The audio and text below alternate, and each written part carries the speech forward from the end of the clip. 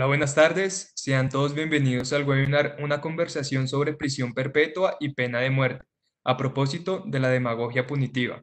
Esta actividad hace parte del ciclo de charlas gratuitas ofrecidas por la Dirección de Educación Continua en conjunto con diferentes facultades de la universidad, en esta ocasión con la Facultad de Derecho. Con este espacio queremos ofrecerles nuevas alternativas para que continúen aprendiendo en cualquier momento de su vida. Antes de darle la palabra a nuestros panelistas, queremos contarles que tendremos un espacio para responder sus preguntas una vez finalice la intervención de los conferencistas. Así que los invitamos a enviar sus inquietudes al espacio de PIR. En este evento está siendo grabado, por lo tanto, a través de correo electrónico les enviaremos el enlace para que puedan volver a verlo. El día de hoy nos acompañan como conferencistas Ligia María Vargas, Ricardo Posada, Ricardo Molina, y como moderadora de este evento nos acompaña María Lucía Mosquera. María Lucía es abogada egresada de la Universidad de los Andes. Trabaja actualmente en la firma de penal Ruiz López Abogados y Asociados. De esta manera iniciamos con la actividad y le cedemos la palabra a María Lucía. María Lucía, bienvenida. Hola José, muchas gracias. Eh, bueno, buenas tardes a todos, bienvenidos. El conversatorio de hoy responde a la realidad en la que nos encontramos respecto a la cadena perpetua. Si bien se ha presentado una fuerte postura por parte de los académicos en contra de esta medida, el Congreso dio su aprobación al acto legislativo. A raíz de esto tendremos un corto conversatorio de una hora, en el cual hablaremos principalmente de dos temas, la prisión perpetua y la pena de muerte. Para esto tendremos la compañía de tres panelistas. En primer lugar se encuentra Ricardo Posada Maya, abogado con honores de la Universidad Pontificia Bolivariana, especialista en Derecho Penal por la Universidad de Antioquia, doctor IDEA en Derecho de la Universidad de Salamanca y actualmente es el director del área de Derecho Penal de la Universidad de los Andes. En segundo lugar tendremos a Ligia María Vargas Mendoza, abogada de la Universidad de los Andes, especialista en Derecho Penal por la Universidad Sergio Arboleda, maestra en Derecho Penal y doctora en Estado de Derecho y Gobernanza Global por la Universidad de Salamanca.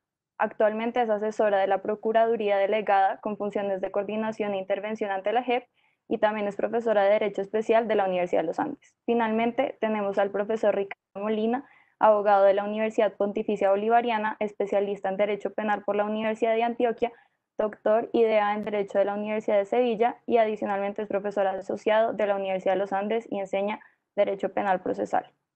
Eh, a lo largo de este conversatorio se plantearán los dos temas mencionados previamente em, y al final presentaremos las preguntas. Cada panelista tendrá tiempo para mencionar su opinión respecto a cada uno de estos temas. Eh, las preguntas que tengan pueden enviarlas, como ya lo mencionaron, al chat del evento. Entonces podemos empezar, vamos a empezar hablando sobre eh, prisión perpetua y tiene la palabra el profesor Ricardo Molina.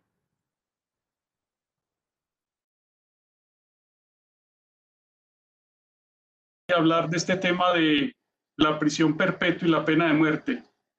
Son dos temas que se encuentran estrechamente interrelacionados, porque tienen un factor común que yo creo que es indiscutible y es que desde la cultura occidental, indudablemente se estima que comportan un atentado contra la dignidad humana.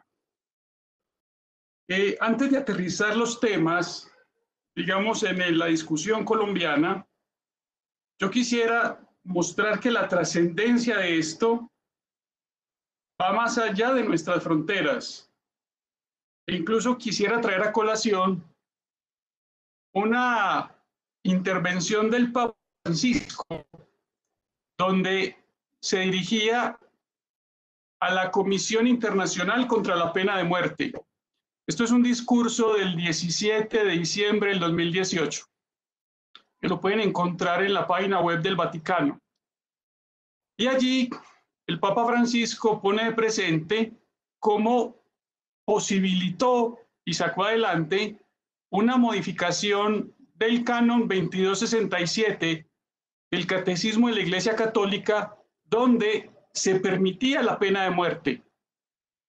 Y allí el Papa Francisco dijo claramente que es una pena que va en contravía de la dignidad humana. Pero en este discurso, ante esta asociación, también hizo alusión a la pena de prisión perpetua. Me voy a permitir leer textualmente las dos líneas que al respecto dijo el Papa Francisco.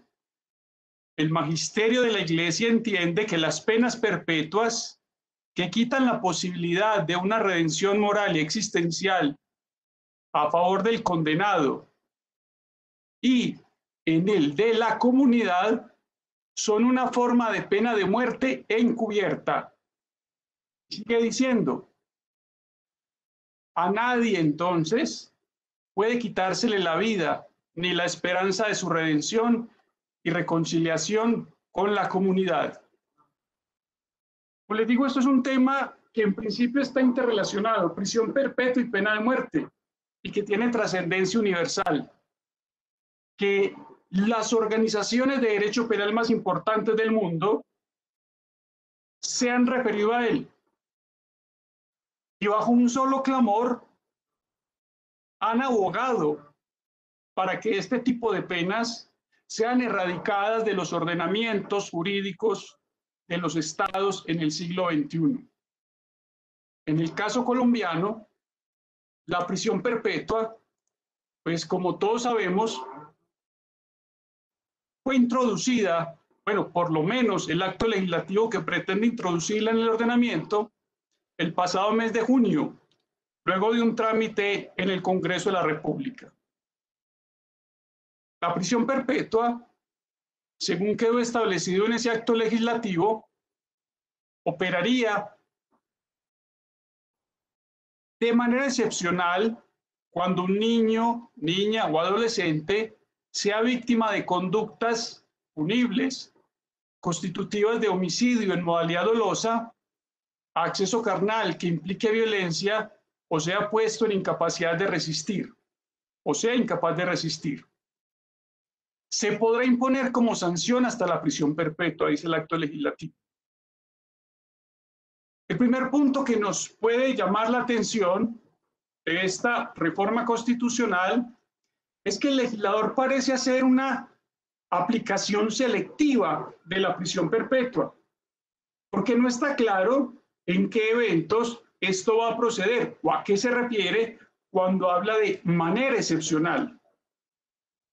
En el inciso segundo de esa modificación al artículo 34 de la Constitución Política, se establece que toda pena de prisión perpetua tendrá un control automático ante el superior jerárquico. Se supone ante el superior jerárquico que emite la sentencia condenatoria que finalmente hace tránsito a cosa juzgada o tiene esa vocación. Pero renglón seguido dice que en todo caso la pena deberá ser revisada en un plazo no inferior a 25 años. En primer lugar, ese control automático ante el superior jerárquico debe quedar regulado por parte del legislador siguiendo los estándares establecidos no solo en la constitución política, sino lo que es más importante, en el bloque de constitucionalidad, tanto en el bloque de constitucionalidad en sentido estricto como en sentido amplio. Y ese control automático de la sentencia no puede desconocer los estándares que ha reivindicado recientemente la Corte Constitucional en la sentencia de unificación de tutela SU 146 de 2020, donde resolvió el derecho a impugnar la sentencia condenatoria en el caso del exministro Andrés Felipe Arias Leiva. Allí la Corte Constitucional, en esta sentencia de unificación, establece de una manera muy precisa y reivindica el derecho de defensa. Diez segundos para el cierre. Reivindica el derecho de defensa y establece que ese derecho a impugnar tiene que permitir una revisión amplia, suficiente de la sentencia condenatoria. Sigamos esto, lo dijo la Corte en un caso, digamos, de un delito ordinario con mayor razón, ese control tiene que ser amplio en un caso de prisión perpetua. Tiempo. Por límites de tiempo no me refiero a la, al control en un plazo no inferior a 25 años, pero parece ser que el Congreso de la República no dejó claro cuál tenía que ser el término en el cual de manera más extemporánea se podía llevar a cabo esa revisión. Porque si ven en lo cierto que el mínimo son 25 años, nada obsta para que el legislador lo establezca en un periodo superior de 30, 35, 40 años, etc. Bien, dicho esto, pues le cedo la palabra a la doctora Ligia para que termine de ambientar este conversatorio sobre este par de temas tan interesantes que nos han convocado el día de hoy.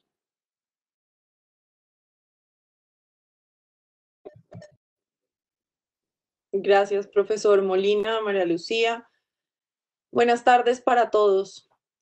Pues como han dicho ya, creo que en todos los ámbitos posibles, la prisión perpetua, independientemente de lo que diga el acto legislativo y la reforma constitucional, si es que la Corte Constitucional la aprueba, es una pena cruel. Y es una pena cruel porque le quita a la persona la posibilidad de desarrollar su vida, incluso con una, con una esperanza de libertad. Y quitarle esa esperanza de libertad a las personas implica violar su dignidad humana. Pero además la situación se agrava en un estado de cosas inconstitucional como el que tenemos en Colombia, que todos conocemos de vieja data en las prisiones, donde ni siquiera las personas que purgan una pena que tiene un fin, es decir, que va a terminar en algún momento, pueden desarrollar algún proyecto de vida esta, este acto legislativo y la posible ley estatutaria que se promulgue después viola la igualdad material porque además desproporciona todo el sistema de penas que existe y el primer obstáculo que tendrá la Corte Constitucional para poder aprobar el acto legislativo, si es que lo hace, será su propia jurisprudencia. Y yo quiero llamar la atención sobre lo que sería el cambio jurisprudencial en la postura de la Corte Constitucional si decidiera aprobar el acto legislativo. En 1992, en una de sus primeras sentencias, en la C-596, la Corte Constitucional hizo referencia a la retribución y al fin de retribución de las penas y afirmó que se trataba solamente de violencia institucional ejercida mediante penas crueles, inhumanas y degradantes que no tenían ninguna utilidad preventiva es decir, desde el inicio de su funcionamiento, la Corte Constitucional ha reconocido que no tiene ningún sentido someter a una persona a una pena puramente retributiva. Y en el caso en el que nos encontramos, ha sido clarísimo que las penas de este tipo, es decir, las penas perpetuas, no cumplen una función de prevención. Y uno lo puede ver en Colombia, donde la pena perpetua, al menos en sentido material, lleva instaurada muchísimos años, se aplican penas que si bien no reciben ese nombre son perpetuas y hemos hecho la cuenta miles de veces de una persona de 30 años condenada a 60, son 90 en condiciones de hacinamiento, jamás saldrá de allí. Entonces, la propia Corte Constitucional ha reconocido que esta, este tipo de penas no tienen ningún sentido. Pero luego en 1996, en la sentencia 070, dijo explícitamente que la prisión perpetua en Colombia era inconstitucional porque dentro de un Estado social de derecho se debía potenciar la dignidad humana en todos los ámbitos de la vida y eso incluía desde luego el derecho sancionatorio y el derecho penal especialmente, aspecto en el que se articulaba o se debería articular la prevención general con la especial en tanto contribuían así a la eliminación de penas crueles violatorias de los derechos fundamentales. Entonces, ¿qué hará la Corte Constitucional para revocar su propia jurisprudencia? Casi que llevarse la contraria a sí misma y entender ahora que la pena, de, que la pena perpetua es una pena constitucional. Me atrevo a suponer que si quisiera hacer eso, lo que haría sería lo mismo que ha hecho la jurisprudencia internacional en este ámbito y es apegarse a la posibilidad de revisar la pena.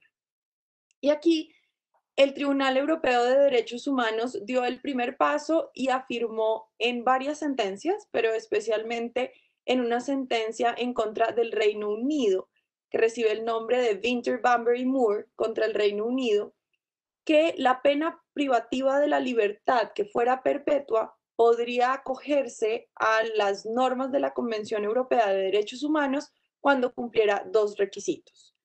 La primera que cumpliera con una perspectiva de libertad. Es decir, que si bien el nombre es pena perpetua, de manera obligatoria se debía revisar la sentencia para que, por un lado, se le diera una posibilidad de ser libre a la persona que había sido condenada a pena perpetua, pero además, según para garantizar que la necesidad de imponer esa pena seguía vigente, es decir, que era necesario que esa persona, después de cierto tiempo, que oscila entre los 15 y los 30 años en los diferentes países, siguiera necesitando estar privada de la libertad.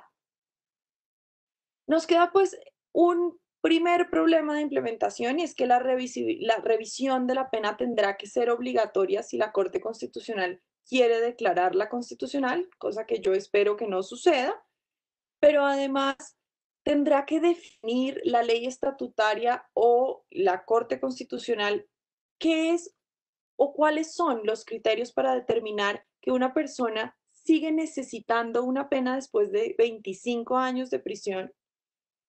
Y además, ¿cuáles son los criterios para garantizar que las personas condenadas a una pena privativa de la libertad materialmente perpetua tienen los mismos derechos que una persona a la que se le ha impuesto esa pena, pero se le ha dado la posibilidad de revisarla después de cierto tiempo. Creo que allí termina mi tiempo por ahora, si no me equivoco, entonces le doy la palabra al profesor Posada y seguimos conversando ahora.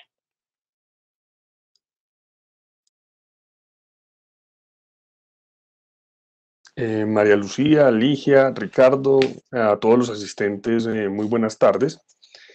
Eh, un eh, muy cordial saludo desde el área de Derecho Penal y bienvenidos a este conversatorio. Mm, yo estoy de acuerdo con el profesor Molina y también con la doctora Ligia eh, en entender que la prisión perpetua no solamente es una pena de naturaleza inconstitucional, sino necesariamente una iniciativa iliberal e inmoral en el marco de un Estado social y democrático de derecho que busca fundamentalmente que las personas se rehabiliten y vuelvan al seno social. El propósito siempre ha sido ese cuando se habla justamente de derecho penal. El eh, punto central es que la pena de muerte no ha mejorado la democracia colombiana ni tampoco supone un avance en la gestión del conflicto criminal, particularmente aquel que atañe los derechos o que socava o busca socavar el derecho o los derechos de los niños, es decir, acabar, reducir y de alguna manera controlar la criminalidad contra los menores. No sigue políticas públicas, de hecho, lo más claro, y así lo mencionó la Comisión Asesora de Política Criminal, lo ha dicho la mitad, casi toda la academia, la mitad, digamos, de los políticos, no cumple con los estándares planteados en materia de política criminal desde la sentencia T762 del año 2015, donde la Corte claramente introduce los límites y los criterios que deberían ser analizados en materia de la creación legislativa a pesar de que el Consejo Superior de Política Criminal, conformado por las mismas instituciones del Estado, pues dio el aval eh, sobre el proyecto de acto legislativo, pues que eh, la realidad, yo creo que, y tengo la esperanza de que así sea, pues será revocado por la Corte Constitucional, no solo por vicios evidentes de forma, sino por graves vicios de, fondo. El punto es que uno no puede instaurar penas de esta naturaleza para efectos específicamente de calmar la conciencia popular y para enviar un mensaje a la población en el sentido de que el Estado está haciendo algo contra los niños, cuando por el otro lado realmente se están muriendo de desnutrición, falta de atención, incluso eh, como lo he conversado en varias oportunidades con María Lucía, digamos, eh, hay déficit de educación en los centros penitenciarios de menores, en fin, eh, es una sanción que no representa un beneficio, que se basa en cifras extremadamente dudosas, que eh, no reduce la criminalidad ni a corto ni a largo plazo y que es muy costosa en términos de derechos fundamentales. El reto de su implementación a través de la ley estatutaria es realmente enorme. no solamente por razones de la inconstitucionalidad, e incluso si la Corte no la declara inconstitucional, eh, por varias razones. Lo primero es que no se ha entendido adecuadamente lo que finalmente se aprobó, pero además eh, no se ha caído en cuenta de la gran cantidad de lagunas que el acto legislativo que modifica la Constitución presenta. Es evidente que sí, que se trata de una pena esencialmente alternativa y esa es la primera cuestión. El acto legislativo no ordena imponer perpetua para estos delitos. Simplemente nos dice que se podrá imponer la prisión perpetua hasta, por hasta eh, el final de la vida de las personas con una revisión eh, por lo menos pasados 25 años. Es decir, es una pena de naturaleza alternativa, como la única que existe en el ordenamiento jurídico por vía constitucional.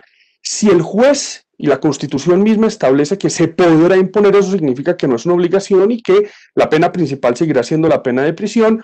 Y en ciertos casos cuyos criterios no han sido definidos, el juez podrá apartarse de la pena principal e imponer este tipo de pena de naturaleza alternativa, pero eso tendrá que pasar por una serie de criterios muy estrictos que hasta la fecha no se han revisado. En segundo lugar, claramente es excepcional. El profesor Molina planteaba el tema de la excepcionalidad en materia de los delitos. Hay vacíos enormes. Eh, se impone para delitos que por lo menos en la jerarquía criminal eh, no son los más graves, hay más graves, por ejemplo, piensen ustedes en el genocidio, la tortura, etcétera, toda una serie de crímenes internacionales de enorme trascendencia y lo que estamos viendo ahora a partir de la demagogia que surge es que se intenta de alguna manera pues expandir a otros hechos criminales partiendo eh, o empezando por el delito de feminicidio en este ámbito, como si no fuese aplicable el delito de homicidio en estos casos.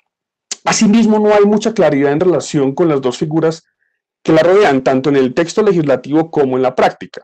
Por una parte, recordemos que es controlable, eh, es decir, hay un control obligatorio que debe ser el superior de quien prefiere la sentencia. En algunos casos esto es básicamente imposible. No tenemos muy claro, por ejemplo, cómo va a ser el control en materia eh, de sentencias proferidas por la Corte Suprema de Justicia, pero por el otro tenemos el problema justamente de la revisión, la revisión a partir de los 25 años, que también, como lo señalaba el profesor Molina, tiene una serie de criterios que no están muy claros para saber hasta qué punto puede ser revisable. Eh, asimismo, invierte el fenómeno de la resocialización. Hasta el momento la resocialización ha sido una garantía de los procesados. El procesado decide si se resocializa o no, no es una imposición jurídica porque violaría fundamentalmente el libre desarrollo de la personalidad y entre otras cosas constituye o sería la expresión de una pena personalista. Eh, en todo caso, en el sistema actual, lo dijo la doctora Ligia, no hay un claro fenómeno de resocialización y desde luego eh, eh, desestructura todo el sistema de penas. Eh, es decir, es una sanción que en términos jurídicos y político-criminales es un despropósito que a pesar de todo viola derechos humanos y es contraria a los tratados internacionales por más que se nos quiera vender una idea contraria. Esa es, digamos, mi introducción. Luego más adelante continuaremos con la exposición. Muchas gracias a todos los panelistas. A continuación me gustaría que tratáramos el tema de la pena de muerte y si consideran, como lo dijo el profesor Ricardo Molina, que hay una relación con la prisión perpetua o si consideran que con esta puerta que se abrió con la prisión perpetua se podría llegar a abrir la puerta de la pena de muerte, lo que opinan al respecto. Entonces volvemos con el profesor Molina.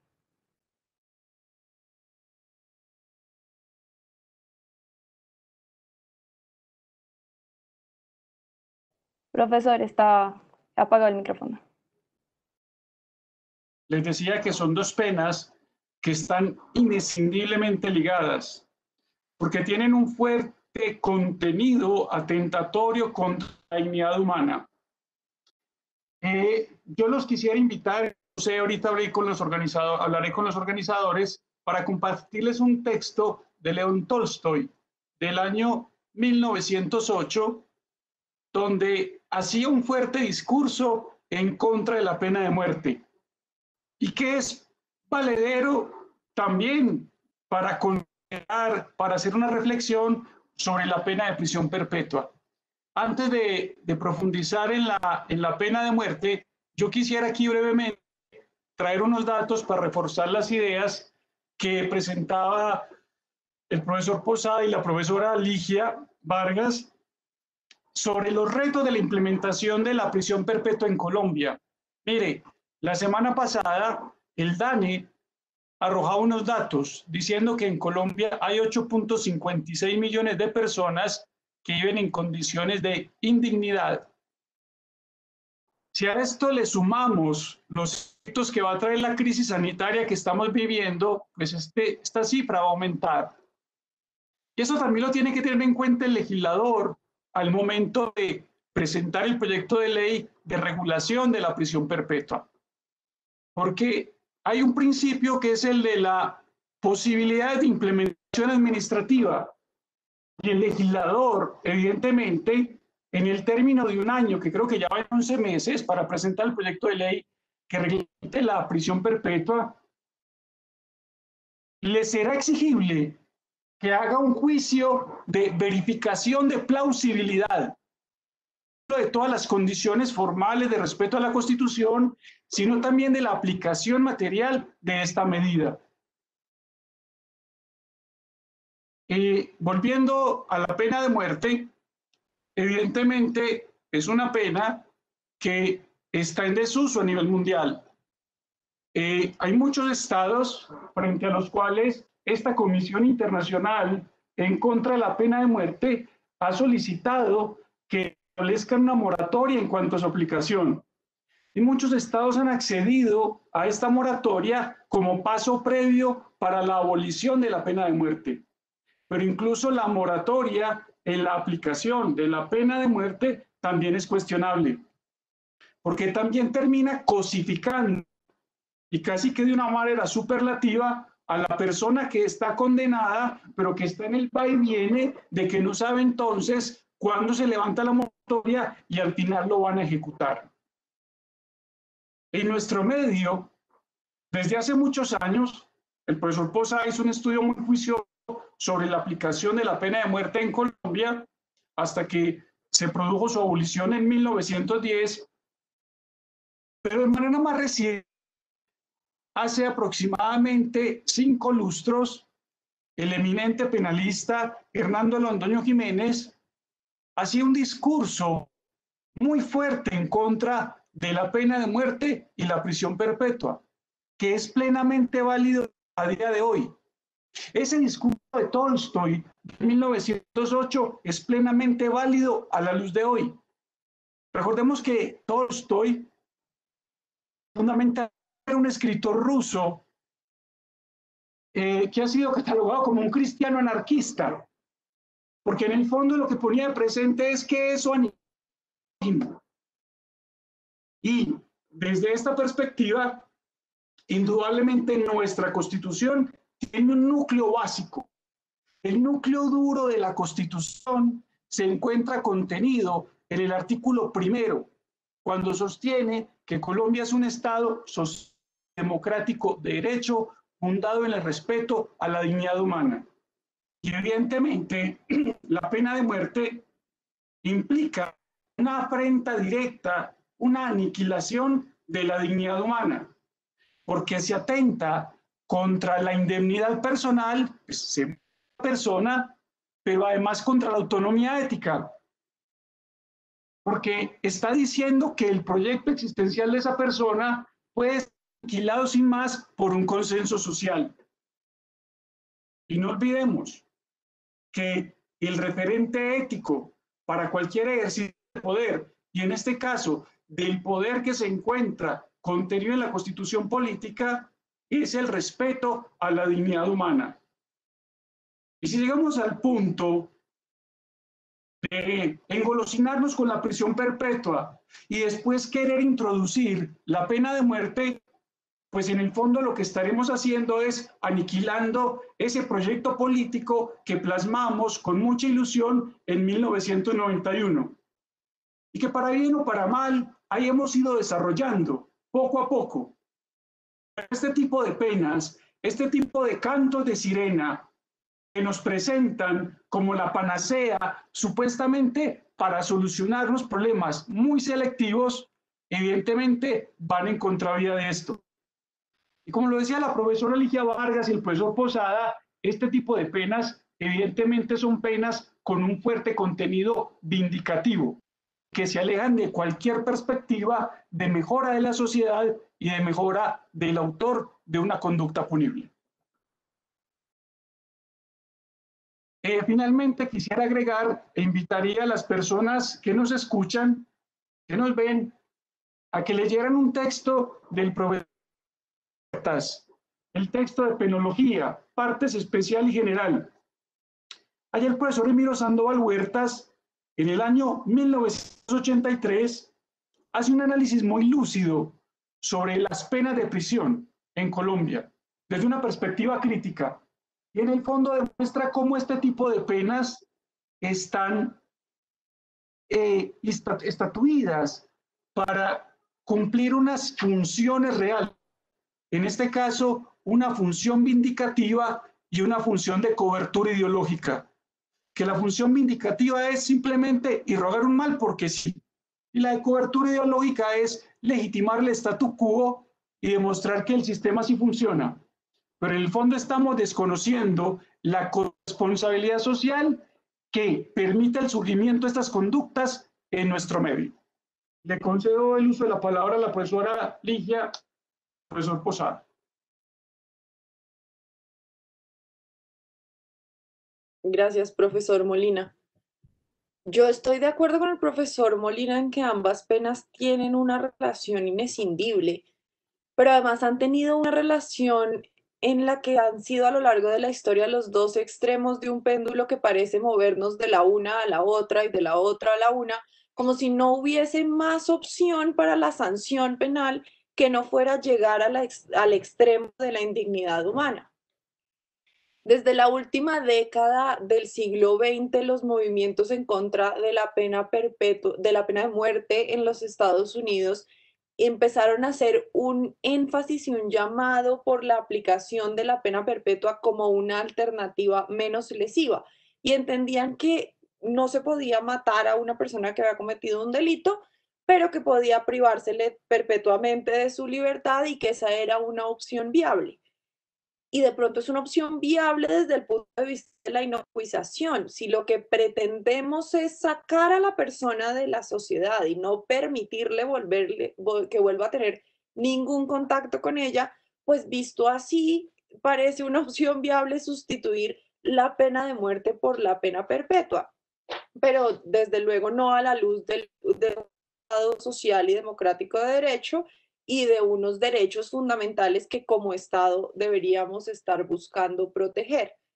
Pero por el otro lado, Becaría planteaba que ejecutar a las personas solamente estimulaba la crueldad en quienes observaban la ejecución, mientras que la pena de prisión perpetua creaba más impacto, es decir, tenía una mayor fuerza preventiva porque aún quien no le tiene miedo a la muerte se vería persuadido por la posibilidad de pasar toda su vida en una pena sin fin.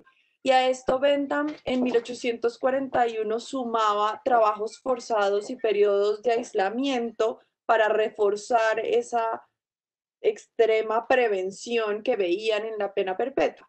Entonces vamos de un lado hacia el otro y cabría preguntarnos en realidad cuál de las dos es más violatoria de la Constitución y de los derechos fundamentales si es que podemos hacer una selección. En ejemplos más recientes, por ejemplo, deberíamos pensar que la pena de muerte es un retroceso frente a la pena perpetua.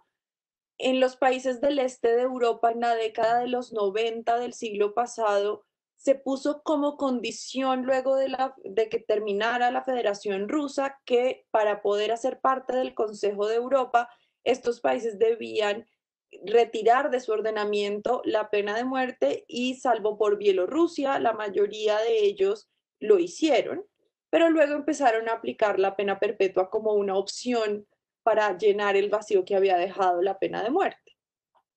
Pero tal vez el antecedente que más llama la atención es una sentencia de la Corte Suprema de los Estados Unidos en 1972, en la que en Furman versus Georgia dijo que la pena de muerte era inconstitucional porque violaba la octava y la catorceava enmienda. Y llama la atención porque acto seguido de la declaratoria de inconstitucionalidad, más de 30 estados de los Estados Unidos promulgaron nuevas leyes que incorporaban la pena de muerte de nuevo, pero que añadieron a manera de plan B, digámoslo así, una pena de prisión perpetua sin derecho a libertad condicionada para que en caso de que la Corte Suprema volviera a declarar que la pena de muerte era una pena inconstitucional, tuvieran la salvaguarda de poder condenar a las personas a pena perpetua. yo creería que en la discusión entre si la una o la otra, la conclusión debería ser que en todo caso ninguna. Porque lo que termina siendo el Estado de cualquiera de las dos maneras es retirando a la persona que nos resulta inconveniente o que ha cometido un delito que creemos que impide su resocialización, que de ninguna manera puede esa persona recuperar su actividad dentro de la sociedad, pero sobre todo que llegamos al punto de considerar que la comisión de ese delito le quita la dignidad humana a esa persona. Y ese es un punto muy peligroso y lo estamos viendo con la apertura del acto legislativo. Ayer en la posición del Congreso se hablaba ya de implementar la pena perpetua para el narcotráfico y entonces ya no estamos hablando de la pena perpetua para los delitos más graves con este discurso de vamos a proteger a los niños, sino que ya estamos protegiendo los bienes jurídicos de salud pública, aun cuando nos digan que están protegiendo a los jóvenes que van a consumir drogas, etcétera, etcétera. Colombia tiene una pretensión y siempre lo ha tenido por proteger o por sancionar especialmente los delitos sexuales y más cuando estos son en contra de menores y yo no creo que eso esté mal, pero hay que saber hacerlo. Y sancionar esos delitos por terribles y horrorosos que son, de acuerdo, no puede ser una excusa para abrir nuestro ordenamiento jurídico a la imposición de penas que desestructuran por completo todo el ideario de Estado de Derecho que, como decía el profesor Molina, ideamos con tanta ilusión en el 91. Y siempre terminamos repitiendo la misma tendencia. Volvemos a abrir el debate sobre pena de muerte y pena perpetua volvemos al aumento de los capítulos de delitos, como si poner una conducta en el Código Penal y solo por ponerla ahí hubiésemos prevenido cualquier comisión y desde luego aumentamos la duración de las penas. Y el fenómeno se repite una y otra vez y entre más conservador, digamos, sean ciertos gobiernos, de más tajante es esta tendencia. yo sí creo que debe ser un llamado a la opinión pública para que empecemos a evaluar si de verdad hay algo de cierto en modificar y modificar el código penal, porque si bien para la doctrina es sumamente claro, tal vez para la opinión pública sigue sin serlo. lo dejo hasta ahí, profesor Posada, lo escuchamos entonces. Gracias, Ligia. Mm, Colombia lleva más de 130 años sin pena de muerte, mucho más de 130 años. Eh, abolida en octubre de 1910. Eh, por cuenta justamente de los requerimientos que la misma Corte Suprema de Justicia en los salvamentos de voto que se profirieron desde el año 1907 empezó a plantear en los últimos casos que se aplicaron en Colombia. En realidad la misma Corte tuvo un argumento que a mí me parece un argumento histórico en ese momento para eliminar la pena de muerte y fue la gran cantidad de errores judiciales y su ineficacia. La misma Corte Suprema de Justicia lo reconoció en el caso de Fructuoso Pareja, que fue uno de los eh, últimos ejecutados en la ciudad de Medellín en las escalinatas del Palacio Nacional. La sola dicotomía entre prisión perpetua, prisión perpetua y pena de muerte, como al menos se viene discutiendo en Colombia, me parece tenebrosa. ¿En qué sentido? Es que como la prisión perpetua es muy costosa, entonces empecemos a matar a las personas. Ese planteamiento es absolutamente inaceptable desde todo punto de vista, pero asimismo contraría el mismo acto legislativo de la prisión perpetua que establece, aunque creo que no es un eh, argumento que sirva para avalar constitucionalmente la prisión perpetua presentado cierto sector de la academia, establece la resocialización. Es decir, la misma constitución plantea la resocialización, que no habría necesidad de hacerlo, ya lo hace el Código Penal y el Código Penitenciario, pero la pena de muerte pues eliminaría toda estructura de resocialización en el sistema constitucional colombiano. Sin, dudar sin lugar a dudas, pues además de lo peligrosa que sería una, un arma de esa naturaleza en el arsenal punitivo colombiano con un sistema que es selectivo, que adicionalmente es eh, naturalmente antigarantista en muchos casos, pero que eh, se está convirtiendo en un sistema político cada vez más.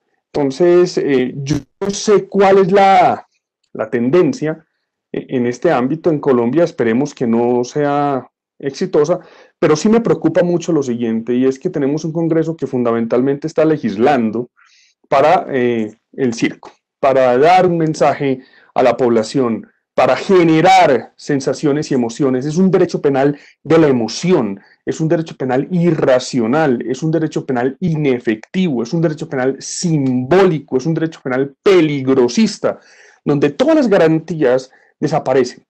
Parece que hablar de garantías en Colombia fuera hablar de problemas y concesiones a la criminalidad.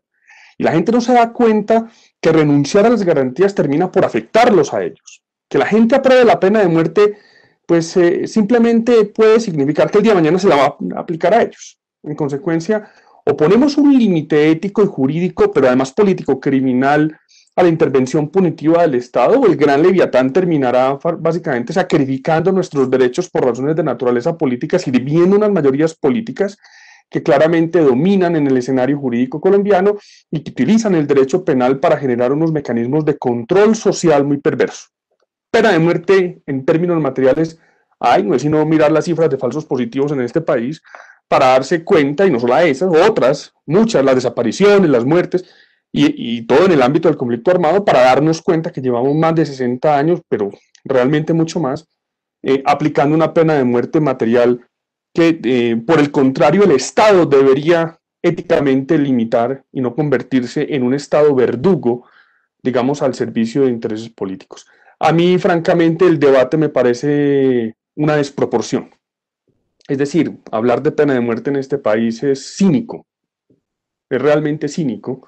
Y lo que deberíamos estar pensando es cómo mejoramos un sistema de garantías, pero adicionalmente cómo mejoramos el sistema de justicia para que sea efectivo y la gente pueda creer en los jueces, para que las sentencias lleguen a los sectores más vulnerables de la población, para que sean, digamos, sentencias rápidas, que sean sentencias que de alguna manera respeten los derechos humanos y fundamentalmente el debido proceso. Así que ese es un debate para eh, evidenciar lo mal que estamos, pero para esconder otros problemas enormes del país, en particular para esconder la corrupción.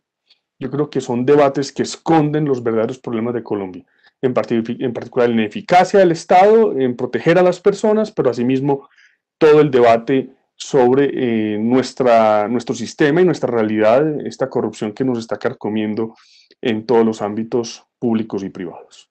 Ese digamos que sería el debate. Pena de muerte imposible. Desde ningún punto de vista sería aceptable eh, en términos jurídicos y políticos. Eh, muchas gracias a nuestros panelistas. Entonces ahora vamos a pasar a la sección de preguntas. Eh, si alguno tiene una pregunta, la puede enviar a la sección de QIA o PIR, em, que está en webinar, en Webex. Tenemos nuestra primera pregunta para el profesor Ricardo Posada. Y dice, es de Mauricio Cristancho.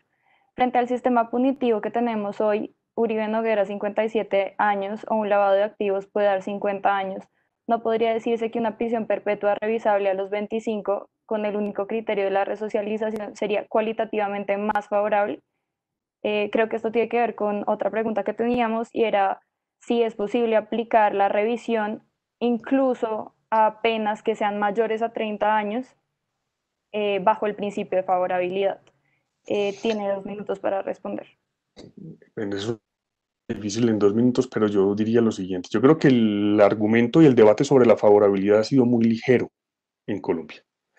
Partamos de una base, si es una pena alternativa y hay discrecionalidad judicial, los criterios determinarán en cada caso concreto cuándo el juez puede imponerla.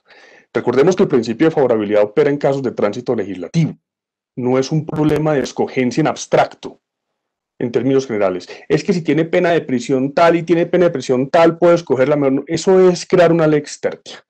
En términos generales, el problema de favorabilidad ha sido manipulado para hacer parecer que se podrá aplicar una pena en estos casos, en todos los casos de la revisión, que además no sabemos ni siquiera cómo va a ser ni qué criterios tiene, y cómo va a ser el problema a los 25 años, para tratar de dar la idea de que es mucho más favorable que lo que tenemos en este momento en términos de penas. Yo no creo que ese debate sea tan claro. Ahora, no es el lugar para darlo, creo que deberíamos dar un debate mucho más amplio sobre la favorabilidad, pero creo que ese punto de vista lo que hace es básicamente legitimar la prisión perpetua tal y como está, en vez de hacer un análisis un poquito más riguroso en relación con la verdadera aplicación del principio de favorabilidad entre situaciones fácticas a imponer. Creo que al final de cuentas ese discurso es muy peligroso. Están jugando con candela. Es, la prisión perpetua termina siendo más favorable que la pena que tenemos. Yo no lo tengo tan claro, pero no solo no lo tengo tan claro, sino que estamos jugando, digamos, a una legitimación que yo no, no haría sin un por lo menos un análisis mucho más técnico en relación con eh, el tema de cómo operará el tránsito legislativo en ese tipo de situaciones. Favorabilidad en abstracto, difícil. Ese es un tema que hay que repensar bien y que hay que revisar desde los fundamentos del propio principio de favorabilidad en Colombia. Pero es un tema de una discusión enorme pues para resolver en dos minutos en este momento. Muchas gracias. Eh, para la profesora Ligia Vargas, tenemos una pregunta de Natalia González. ¿Cómo se podría combatir el populismo punitivo desde los principios de derecho penal? También dos minutos. Están todas preguntas muy fáciles para el tiempo que tenemos. Em, yo creo, yo, pues, como profesora, pero además como funcionario público, yo sí creo que nosotros tenemos un primer gran deber y es el deber de pedagogía porque es que los principios del derecho penal, en, como nosotros los entendemos en la academia y como se entienden por las personas que estudian derecho penal, pues van en contra del populismo punitivo y parece casi que evidente que usted no puede hacer derecho penal garantista bien hecho y hacer populismo punitivo al mismo tiempo. Pero el problema es que una cosa es lo que uno estudia en el libro y otra cosa es lo que la gente sabe y lo que la gente cree saber de derecho penal, que es aún más grave. Entonces, yo creo que hay un primer gran deber y es que esos principios que tanto protegemos y que yo creo que protegemos con razón, tienen que enseñársele a la gente. Y la gente tiene que entender lo que acaba de decir el profesor Posada, que es que en últimas me están protegiendo a mí, ciudadano de a pie, porque además hay una facilidad, y en Colombia es muy cierto, para sentirnos víctimas potenciales. Todos salimos a la calle pensando que me van a hurtar el celular, pero muy pocas se sientan a pensar que de pronto yo puedo cometer un delito. Y la más, el ejemplo más claro es que yo puedo cometer un delito imprudente manejando y puedo matar a una persona o lesionarla y eso es un delito. Y de ahí en adelante cualquier cosa puede pasar. Entonces, entender esos principios modifica la opinión pública y entender por qué existen y por qué son garantías para mí como ciudadano también hacen que entendamos el derecho penal de una manera diferente. Y eso ayuda a combatir el populismo punitivo en la medida en la que la sola, el solo aumento de penas y la sola incorporación de delitos en el Código Penal a rajatabla no, no hace que den votos, que al final es la razón por la cual se está modificando el Código Penal todo el tiempo, y no hace que la gente coma entero, digamos. Hay una visión un poco más crítica de la postura y de las normas que debería existir.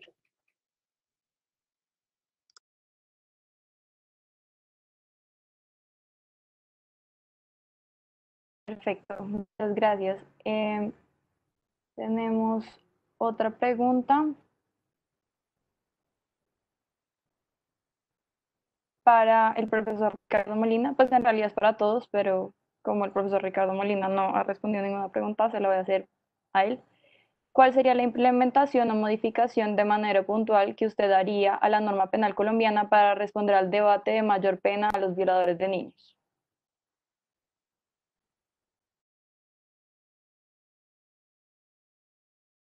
Como, ya lo hemos mencionado, esta pena tiene una característica y es presentarse como una venganza. Sintetizando lo que han dicho, con los principios hay que racionalizar. Y esa racionalidad implica no solo pensar el ordenamiento en clave principal, sino también pensar en la sociedad y en nuestras circunstancias sociales. Cuando se trata de la prisión perpetua frente a estos delitos, diciendo que se va a mandar por prevención general negativa, de que se va a estabilizar la confianza en la norma, prevención general positiva, pues se nos olvida que la prevención general positiva se logra fundamentalmente cumpliendo los fines del Estado que está en el artículo 2 de la Constitución Política. Tratar de solucionar la problemática de la violencia sexual u otro tipo de delitos como el homicidio doloso contra menores a partir de la pena no solo es desconocer lo que tantas veces se ha dicho, que es dejar de lado las causas de esos delitos, sino implementar soluciones que no son idóneas. Yo creo que lo primero que tenemos que hacer es examinarnos como sociedad. ¿Por qué pasan esas conductas? ¿Qué efecto tienen la organización en las condiciones sociales?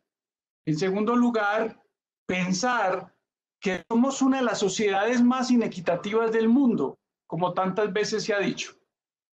Ahora, ya en el plano legislativo, nuestro legislador tiene que tener en cuenta los principios que sirven de límite a la intervención punitiva y entender su aplicación nacional. Y esto parte de hacer un juicio de proporcionalidad entre bien jurídico daño provocado con la conducta y reacción punitiva. No se nos puede olvidar, y así digamos que lo ha reivindicado recientemente la Corte Constitucional en la sentencia de unificación 146 de este año, que el texto constitucional va avanzando en su interpretación a partir de los estándares internacionales. El texto constitucional no es estático, no es pétreo, es un texto que va evolucionando y la Corte Constitucional, como órgano garante de ese texto político que es la Constitución, va reinterpretando esa lectura. Y yo creo que a nivel mundial, la reinterpretación de esa lectura que tiene que llegarle a nuestro legislador indica que se deben dejar de lado las penas crueles, inhumanas y degradantes. Esto pareciera ser paradójico, porque eso es lo que dice el artículo 12, pero pareciera ser que a nuestros congresistas se les olvida. Entonces, dejando de lado eso, tenemos que pensar que nuestro legislador debe pensar más, legislar para cumplir las finalidades del artículo 2 de la Constitución Política y minimizar y minimizar la intervención punitiva. Lo que voy a decir puede sonar muy hippie, pero es que es muy real. La constitución política es un pacto de unión para buscar la plenitud de la sociedad, para vivir felices. La constitución política no establece fundamentalmente mandatos de criminalización, sino mandatos de establecer políticas para vivir bien, para llegar a la armonía social, para desarrollarnos como personas. Y solo en último lugar, cuando el legislador cumpla con eso y haya quien decida alejarse de ese proyecto político, pues entonces pensar en la reacción punitiva como la última ratio. Pero siempre y cuando esto sea proporcional, idóneo, no fragmentario y además teniendo en cuenta las posibilidades de implementación administrativa. Y vuelvo, insisto, este acto legislativo en las condiciones actuales, desde la perspectiva económica es muy difícil de implementar. Desde la perspectiva normativa, no ha considerado cómo llevar a cabo el control de esa sentencia. Me permito finalmente hacer una referencia a este punto que me llama especialmente la atención.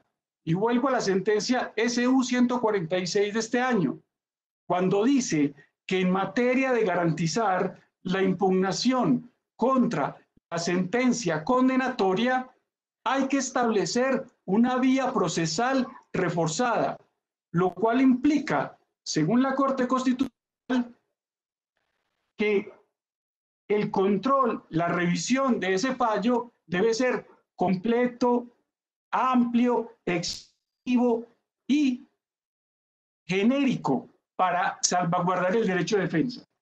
En síntesis, que nuestro legislador, en vez de estar pensando en intervención punitiva y en establecer herramientas que no son idóneas y que además no está en capacidad de plantear, debería enfocarse a la realización del artículo segundo de nuestra constitución política, donde se establecen de manera clara los fines del Estado.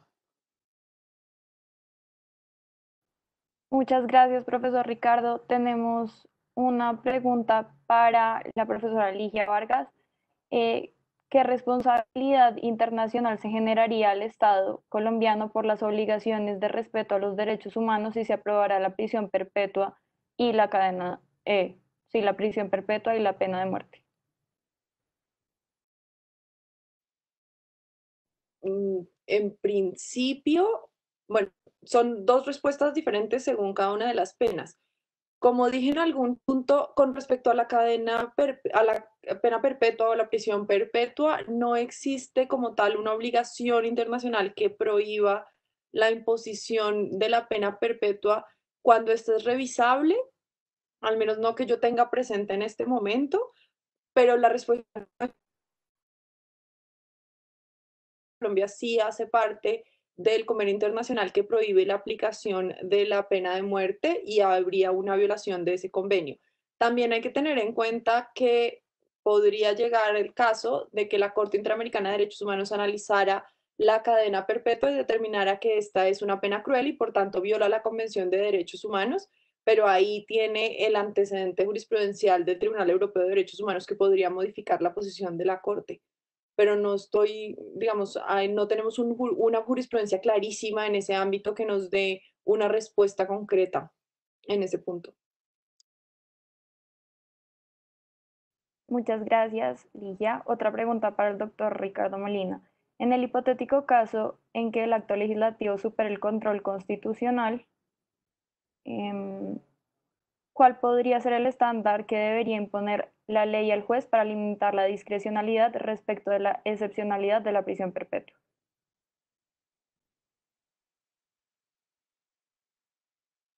Esa es la pregunta del millón. Como lo poníamos de presente ahora, lo decía la profesora Ligia Vargas y el profesor Posada, eh, en el Código Penal tenemos unos referentes de bienes jurídicos que se lesionan de manera más grave.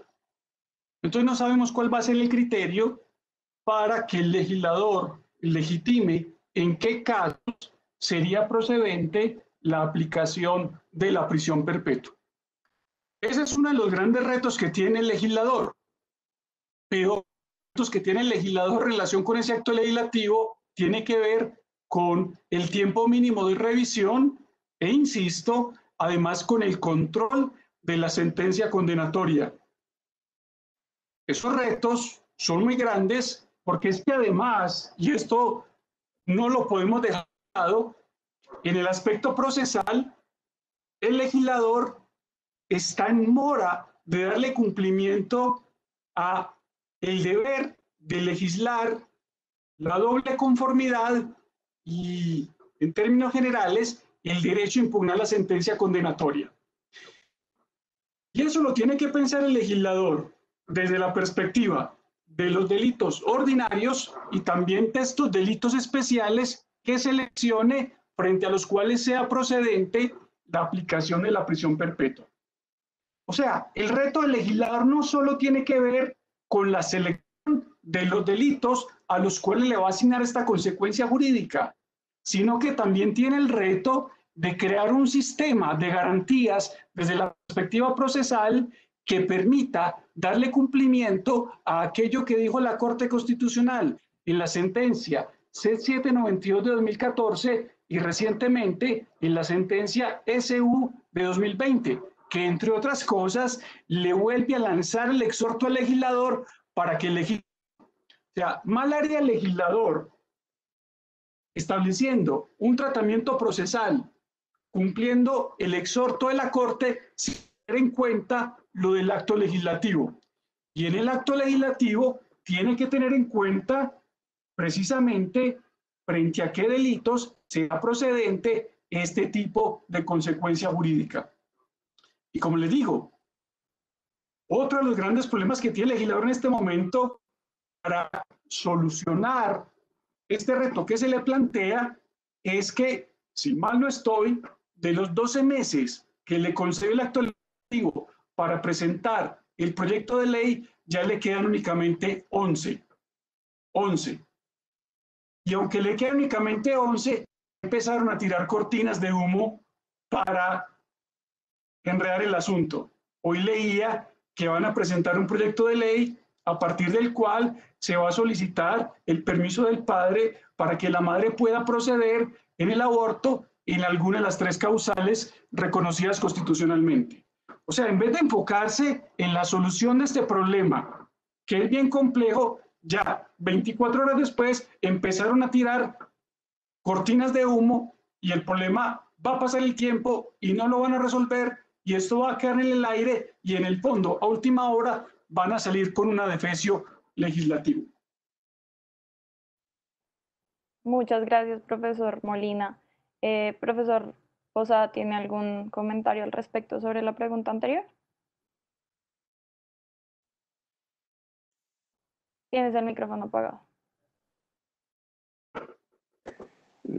Eh, gracias. Eh, lo primero es claramente señalar y complementar lo que decía la profesora Vargas hace un, hace un momento. Recordemos que Colombia, en efecto, a través de la ley 297 de 1996, incorporó al ordenamiento jurídico el segundo protocolo facultativo del Pacto Internacional de Derechos Civiles y Políticos en contra de la pena de muerte. Entonces, ese es un primer obstáculo, digamos, en relación con su implementación, además pues de los obstáculos de fondo. Segundo, yo creo que las consecuencias a nivel internacional más interesantes eh, se derivarían de las condiciones de reclusión de las personas privadas o condenadas a prisión perpetua en caso de ser aprobada, porque con las condiciones que tenemos en este momento en las prisiones del país, claramente propias de un estado de cosas inconstitucional, inhumanas, degradantes en todo sentido, pues sería cometer, sería simplemente someter a una persona a una realidad absolutamente inhumana, propia de, digamos, de, de un Estado absolutamente que desprecia los derechos humanos, en consecuencia por allí vendría la responsabilidad, incluso también aquella responsabilidad derivada de los errores judiciales. Recordemos que Colombia tiene una, tasa de errores judiciales solo en detención, en detención preventiva brutal, ya ni nos imaginemos pues en materia de condenas y por, por supuesto en este tipo de sanciones. Eh, naturalmente es otra de las excepciones que se vienen fraguando en relación con la justicia premial, porque es una forma de sustraer al juez, digamos, de la valoración del caso concreto con una pena previamente determinada por el legislador, salvo en los casos de revisión, que repito, no tenemos claros los criterios ni para el control ni para la revisión, pero es que ni siquiera tenemos claros los criterios que le permitirían al juez en cada caso concreto apartarse de la pena principal para luego ah, imponer una pena de esta naturaleza. Entonces las condiciones, digamos, son eh, tan, precarias en términos constitucionales y en términos legales que la implementación ya eh, es básicamente una, una cuestión eh, imposible, sobre todo porque a esa implementación se le van a, naturalmente, se va a demandar sucesivamente en cada caso hasta mirar a ver cómo se desestructura. Entonces yo no, auguro una muy buena implementación en este ámbito, más pues con eh, los eh, modelos de justicia que tenemos. A esto añadámosle que es una pregunta que alguien leía hizo el público, el, tema de la imprescriptibilidad. Son dos fenómenos completamente, digamos, distintos, pero que conjuntamente hacen digamos, mucho más, mucho más complejo la aplicación del sistema judicial en Colombia. Eh, una cosa es el debate sobre si las personas tienen derecho, digamos, a que sus crímenes en términos generales de la acción y de la pena prescriban. Ese es un debate jurídico supremamente fuerte. El otro es lo que significa, en el caso concreto, asumir una postura de imprescriptibilidad de los delitos ya en Colombia en el plano práctico cuando tenemos básicamente periodos prolongadísimos de tiempo hoy vigentes en el ordenamiento jurídico para la gran mayoría de delitos y el efecto por lo menos más evidente sería que eh, de alguna manera se, legitimaría la inoperancia y la inoperatividad de la justicia en la mayoría de las investigaciones y las persecuciones judiciales en Colombia, eso con absoluta claridad. Entonces, lo que mi lectura, que puede estar equivocada, es que quisieron introducir la imprescriptibilidad de los delitos para frenar de alguna manera la prisión perpetua como una alternativa, y perdón la expresión, pero digamos el tiro se les devolvió. De alguna manera terminamos con pena de prisión perpetua e imprescriptibilidad, lo cual pues hace del sistema un sistema claramente, claramente eh, autoritario en ese punto. Creo que tendríamos que hacer más discusiones en relación con eso. Ese es un tema muy complejo, pero lo cierto es que Colombia trabaja a punta de prescripción y se abre otro ámbito y ese es la prescripción y la impunidad, que es todavía más difícil, por lo menos en Colombia. Así que el panorama para el derecho penal no es muy alentador en términos de garantías, para ser muy honestos. Y lo que mi invitación en general a todos los profesores, abogados es, oiga, por favor, hagamos pedagogía de las garantías. No le tengamos miedo a las garantías, son un patrimonio de todos, no, son, no tienen color político, pero además benefician a toda la sociedad en general. No es un eh, tema del, digamos, no es un tema para nada despreciable y en todo caso lo que deberíamos es estar abogando por una justicia mucho más efectiva en el contexto de mayores garantías para todos los ciudadanos, sin politizar, digamos, la justicia. Tenemos que aprender como sociedad, y yo creo que ese es uno de los grandes retos del siglo XXI, a no politizar las decisiones de la justicia. Ese es el gran reto que tenemos como sociedad. Muchas gracias, profesor Ricardo Posada. Em, desafortunadamente se nos terminó el tiempo, a pesar de que quedan muchas preguntas por responder, eh, pero ya se acabó el tiempo. Entonces, por favor, quédense para escuchar el, las recomendaciones de José y muchas gracias a todos por su asistencia. Bueno, muchas gracias a Ligia, a Ricardo Posada, a Ricardo Molina por su valiosa intervención y a María Lucía por moderar este espacio tan interesante. También muchas gracias a los asistentes por enviar todas estas preguntas. Acabamos de compartir por el chat un enlace que les pedimos ahora antes de irse. Es una encuesta muy, muy corta en la que podrán darnos eh, su opinión y contarnos cómo les fue eh, en esta actividad. Ya para terminar, les contamos que pueden volver a vivir este evento porque quedará grabado en la página que les estamos compartiendo también por el chat. En ese enlace también podrán conocer otras actividades como esta que tenemos programadas. Por ejemplo, mañana miércoles 22 de julio a las 6 de la tarde tendremos el webinar Protección de los páramos entre lo ambiental y lo económico. Y el jueves 23 de julio a las 9 de la mañana tendremos el webinar La evaluación formativa, componente clave de la flexibilización curricular. En esta página también podrán conocer todos los contenidos digitales que la universidad está liderando en este momento. De nuevo, muchas gracias a todos por su participación. También muchas gracias a los asistentes que nos acompañaron en nuestro Facebook Live Esperamos que, esta actividad haya sido provechosa para ustedes y que nos sigan acompañando en el resto de actividades programadas. Que tengan una feliz noche. Nuevamente, muchas gracias por participar y nos vemos a la próxima.